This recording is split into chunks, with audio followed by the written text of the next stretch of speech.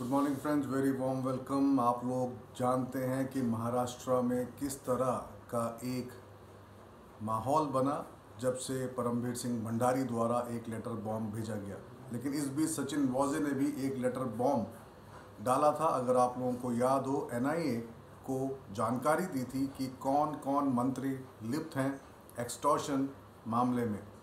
अब इसके चलते एक बड़ी खबर आ रही है जो मैं आप लोगों के साथ शेयर कर रहा हूँ। अनिल परब, जो कि ट्रांसपोर्ट मिनिस्टर है, उन पर जाँच बिठा दी गई है। ये ब्रेकिंग न्यूज़ आ रही है, जो मैं आप लोगों के साथ शेयर कर रहा हूँ। ये खबर आ रही है नासिक के पुलिस आयुक्त ने ट्रांसपोर्ट विभाग के मंत्री अनिल परब और छह अधिकारियों पर रिश्वतखोरी का आरोप की जाँच का आदेश दिया है। रिश्वतखोरी का आरोप रीजनल ट्रांसपोर्ट ऑफ़िस के एक निलंबित मोटर व्हीकल इंस्पेक्टर ने लगाया है, शिकायतकर्ता गजेंद्र पाटिल ने बताया है कि वास्तव में यह आरटीओ में मलाईदार पदों पर नियुक्ति का मामला है। ट्रांसफ़र पोस्टिंग जो कि मामला सामने निकल कर आया था अनिल देशमुख मामले में भी, और वही तरह का, उसी तरह का ये मामला सामने निकल कर आ रहा है।